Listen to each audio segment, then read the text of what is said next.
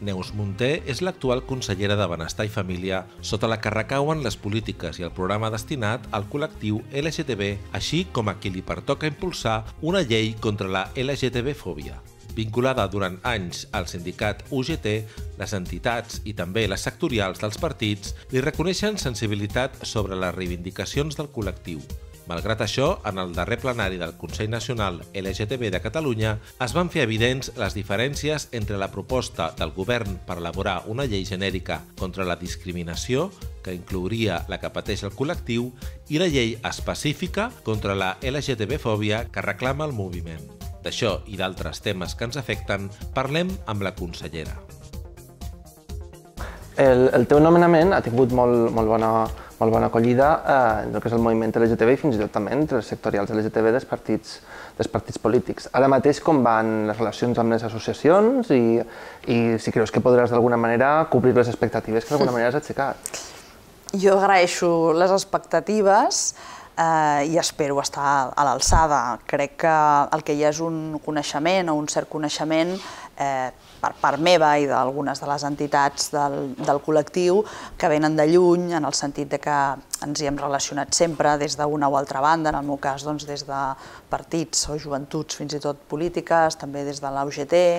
i fins i tot en la darrera etapa des, de, des del Parlament. Crec que les relacions són, són bones, són correctes, al llarg d'aquests eh, tres mesos eh, no he pogut encara aprofundir ni tenir massa converses i massa reunions encara. Eh, M'he reunit amb, amb representants de, dels, de les entitats LGTB una sola vegada, ho faré aviat, en aquest cas en el marc del Consell Nacional, però les portes d'aquest departament estan obertes i ho estaran sempre i per tant espero que puguem treballar conjuntament molts aspectes i que hi hagi una relació que més enllà de la cordialitat que estic segura que existeix i vaja ho afirmo tant per part meva com la receptivitat que em trobo, espero que més enllà de ser fluida sigui efectiva i per tant puguem aconseguir eh, coses i puguem fer feina plegats que millorin la situació eh, de les persones LGTB quines serien les polítiques a, grans trets eh, que es desenvoluparan des del teu departament per a les persones LGTB i quina creus, quina és la valoració que fas de la, de la situació actual de, de, de drets i de, de llibertats de les persones LGTB aquí a Catalunya? Crec, començo pel final, crec que s'ha millorat eh, sensiblement pel que fa doncs, als, als drets i les llibertats tant no només en el cas de Catalunya, sinó en el conjunt de l'Estat, perquè hi ha hagut normatives i perquè hi ha hagut mesures des d'un punt de vista doncs, polític i de treball conjunt amb les entitats que ha favorit la, la visibilitat, la normalització i, i, i diguem-ne, la, la, la promoció dels drets eh, i de les llibertats, com, com deia abans, però queda molta feina per fer. Jo diria que a mi el que em preocupa és que en una situació de crisi com la que estem vivint puguem baixar la guàrdia i per tant coses que s'han pogut aconseguir o que estem en camí d'aconseguir-les es puguin perdre pel camí. La situació de crisi afecta a tothom per igual, a totes les persones, independentment de, de, de, de tot, ens afecta a tots, però sí que penso que, per exemple, en el cas del col·lectiu LGTB, algunes de les eh, seves eh, doncs, dificultats es poden veure, eh, es, poden veure, es poden veure incrementades degut a la crisi, per exemple, en l'accés al mercat de treball, sense anar més lluny. Uh, per tant, jo crec que s'han de treballar molts aspectes que tenen a veure doncs, amb les necessitats específiques de cada col·lectiu. En aquest cas, eh, crec que també queda molta feina per fer en el marc de la lluita contra la, contra la discriminació que pateixen en determinats àmbits les persones LGTB Crec que s'han millorat molts aspectes, però que queda molta feina per fer. Sobre els eixos fonamentals, mm, jo, jo diria que aquesta serà, i, i ha de ser així, em sembla lògic, una legislatura continuista respecte a l'anterior, per tant que els objectius que estan eh, marcats en el pla interdepartamental, eh, per tant amb, amb tot el suport que es pugui donar des d'aquest de, departament, eh, i des de la Secretaria de la Família, però jo m'ho agafo com un tema molt, molt meu, a les entitats, als pares i mares, eh, no només des d'un punt de vista econòmic, que farem tots els esforços, tot i que les disponibilitats econòmiques doncs, malauradament són, són molt ajustades, però també des d'un punt de vista tècnic eh, i sobretot ajudant amb aquesta visibilització que és, eh, que és molt important. Però jo crec que un element fonamental és el tema de la lluita contra la no discriminació i, per tant, de prevenció, de denúncia d'aquelles situacions que encara es donen, perquè aquesta és una realitat, no se la inventa ningú, ni l'exigena ningú, és una realitat que existeix, i en una societat com la nostra, que malgrat les dificultats que tenim es vol cohesionada, quan parlem de la cohesió social, quan parlem de ser un sol poble, eh, jo incloc algunes d'aquestes qüestions, estan a dins també. Eh, Parla'ns una mica, s'ha presentat fa poc les bases mm -hmm. de la llei per la no discriminació. Explica'ns una mica quins àmbits vol abordar o quines són les sí. bases que es presentaran i quins àmbits també aborda. No s'ha presentat encara la, el document de bases, ho farem properament, l'estem eh, treballant i el compromís és parlar-ne d'una manera també doncs, molt directa i molt de tu a tu amb els representants de les entitats LGTB. Per què? Perquè hi ha una demanda del col·lectiu sobre la necessitat d'una llei eh, contra la homofòbia, la transfòbia i la lesbofòbia, eh, una llei, diguem-ne, específica sobre aquesta matèria. Convergència i Unió va concórrer a les anteriors eleccions i també aquesta vegada amb un compromís d'una llei eh, que preveiés eh, una lluita doncs, ferma contra tot tipus de discriminació, però on l'homofòbia tingués una visibilitat molt gran i una força molt gran. Aquest és el nostre compromís i aquest és el meu compromís que jo mantinc intacte. Hi ha una diferència de criteri o hi ha una diferència, ho veiem diferent, respecte a algunes de les entitats que manifesten la necessitat de que aquesta sigui una llei específica.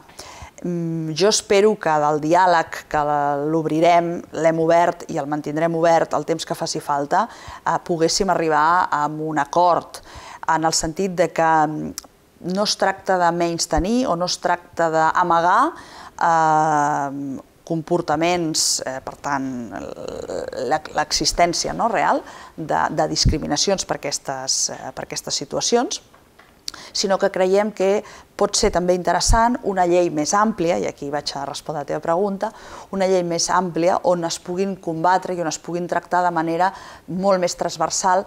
els diversos tipus de discriminació. Malauradament som en una societat que, com deia abans, ha avançat molt, però que encara discrimina les persones pel seu origen, per la seva raça, per la seva ètnia, a les persones que pateixen algun tipus de discapacitat també a les persones eh, gais, lesbianes o transexuals, perquè es desconeix, perquè la diferència a vegades fa por i genera unes distàncies i unes eh, conductes i unes actituds que el govern té l'obligació de combatre. Jo el que vull que s'entengui, m'agradaria que s'entengués, és que eh, aquesta llei ampla, aquesta llei més, eh, més, més, més transversal, el que busca és poder posar situacions que, encara que són diverses i diferents i que responen a, a orígens diferents, tenen un, un mateix eh, fil conductor, que és aquesta discriminació absolutament injusta i intolerable que pateixen les persones. I que posar-ho en una mateixa llei no és menys tenir a ningú, sinó al contrari, considerar que allò és motiu de discriminació i que pot ser tractat eh, de diverses eh, fórmules, però amb un mateix objectiu. Aquest és un objectiu de legislatura, ho era de l'anterior, com deia abans, no es va poder portar a terme per l'escurçament de la legislatura i perquè hi va haver, com tothom sap, eleccions anticipades, però que jo he manifestat i m'he compromès amb seu parlamentària a tirar-la endavant. I que certament els treballs que s'han fet, en aquest cas doncs, des del Consell Nacional LGTB, on hi ha un document elaborat i àmpliament consensuat a nivell d'entitats i fins i tot a nivell territorial pugui servir de base i pugui servir d'element, de, de, diguem-ne, catalitzador d'aquelles propostes i aquells eh, elements que han de finalment doncs, formar part d'aquesta llei eh, contra tot tipus de discriminació. Des de les entitats moltes vegades, quan es planteja una llei específica, es demana, en aquest sentit, una llei específica per donar visibilitat. No hi ha, no hi ha tant sí. perquè es considera que es menté, sinó per demanar visibilitat a aquesta discriminació en concret. Aleshores, mm. clar, suposa quines seran les eines per, suposa, per, i les institucions, suposa que el Consell Nacional, per intentar trobar un punt, un punt mm. d'acord i com veus aquest punt de vista des de les entitats? No, que jo entenc eh, la qüestió de la visibilitat i la defenso. El que no veig és que pel fet de compartir, diguem-ne, eh, llei amb altres eh, tipus de discriminació, això faci perdre visibilitat. Jo crec que al contrari, que reforça el concepte, perquè és que no ens n'amagarem, no ho amagarem, de que un dels elements centrals d'aquesta llei i que li dona sentit, segurament, li dona sentit, és que existeixen aquestes conductes discriminatòries contra el col·lectiu LGTB. Jo com espero que això es pugui reconduir doncs, eh, a partir del diàleg, eh, entenent que el govern està sent coherent també amb allò a què es va comprometre des d'un punt de vista electoral, nosaltres no hem canviat la nostra opinió, que escoltarem a tothom, per descomptat, jo crec que aquest tarannà eh, el tenim, no parlo només de mi, també parlo del meu equip, no? de les persones que en aquest sentit doncs, també hauran d'assumir doncs, la seva, i ho estan fent, la seva tasca aquí, i que per la via no només de la comissió, del Consell Nacional, vull dir, ara està pensant en la comissió parlamentària, perquè vull dir que hi ha la part, diguem-ne, de les entitats i la seva representativitat, que és molt important, i després tenim el Parlament de Catalunya, amb els grups parlamentaris, perquè finalment les lleis s'acaben aprovant en, en seu parlamentària, doncs on també caldrà trobar eh, complicitats i, lògicament, suports parlamentaris. I aquesta serà la nostra doble, el nostre doble esforç internament, diguéssim, amb el col·lectiu per poder pactar doncs, eh, els termes eh, que s'han d'incloure en la llei i després, o al mateix temps, a, a nivell eh, parlamentari. I espero, i el que jo desitjaria és que fos una llei que comptés amb un suport el més ampli possible, que no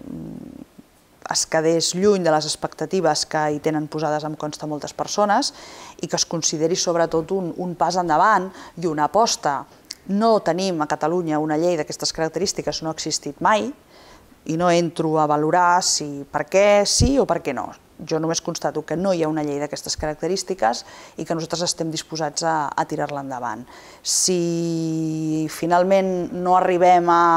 l'objectiu inicialment marcat o algunes persones legítimament creuen que ens hem quedat doncs, curts, ho discutirem. Jo intentaré fer tot el possible perquè aquesta sensació no, no, no, no, no, no es confirmi, per entendre'ns. Quins àmbits creus que hauria d'abordar? Per exemple, en moltes entitats podem parlar de que cal, eh, bueno, l'altre dia en una entrevista que vam fer a l'Associació de Pares i Mares de Gais uh -huh. i Lesbianes, per exemple, consideraven que l'escola era un àmbit insegur per a les persones LGTB perquè podien patir discriminació més fàcilment. Uh -huh. S'abordarien temes d'educació, de, temes -huh. de, de discriminació més directa, d'agressions, de temes uh -huh. laborals, per exemple, quins, quins creus que són els eixos que podria abordar ah. la llei depèn de com quedi al final. Sí, hem de tenir detectats quins són els àmbits on es produeixen aquestes discriminacions. Jo de l'àmbit laboral abans ja n'he fet referència perquè em consta que és així. Crec que en l'àmbit de l'escola eh, també es produeixen aquestes situacions perquè les famílies efectivament així ho expliquen. Crec que en l'àmbit escolar per això hem de tenir en compte també que hi ha un gran desconeixement i que són importants també tot el que puguin ser doncs, eines de, de formació també dels professionals, els mestres i els professors, en aquest sentit, i altres professionals que també treballen en l'àmbit escolar, jo crec que necessiten més eines de les que han disposat fins ara. L'educació dels nois i noies és difícil, eh, és complicada, vull dir, és una tasca eh, complicada i més en aquests moments, i crec que moltes vegades eh,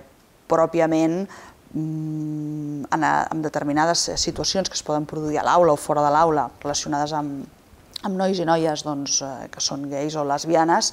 mm, en bona part es pot veure doncs, el, el desconeixement i el no saber com abordar determinats, eh, determinats fets. Per tant, jo crec que la llei tampoc ens ho resoldrà tot, en el sentit de que hi ha aspectes que jo crec que han de formar part de tot un altre eh, paquet no? de mesures i a l'àmbit escolar, a més, eh, el conec particularment i, i, i m'agrada i em preocupa, crec que es poden eh, fer altres tipus d'actuacions que vagin en aquesta línia, no? molt adreçats cap als professionals, però també cap a tota la comunitat educativa, perquè al final a l'escola, doncs, eh, quan es produeixen aquest tipus de situacions, de vexatòries o d'agressions, eh, eh, és entre els propis companys moltes vegades, per tant eh, això s'ha de tenir en compte, com també doncs, que les xarxes socials també, han, també han esdevingut un, un element eh, que aporta moltes oportunitats i que obre una gran finestra al món, però que mal usades, mal utilitzades, i això està passant, eh, també poden esdevenir doncs, un element catalitzador d'aquestes eh, vexacions o d'aquestes discriminacions. Per tant, eh, la llei eh, jo la concebeixo com una, com una eh, mirada, diguem-ne, transversal a tots els tipus de discriminació, però evidentment no només eh, amb la detecció eh, avançarem, sinó que caldrà també incloure doncs, eh, mesures per abordar i per lluitar contra aquesta, contra aquesta discriminació en els diferents àmbits. Insisteixo, caldrà eh, trobar molt bé i encaixar molt bé quins són aquests àmbits on es produeixen de la vida ordinària, crec que l'àmbit laboral n'és un molt clarament,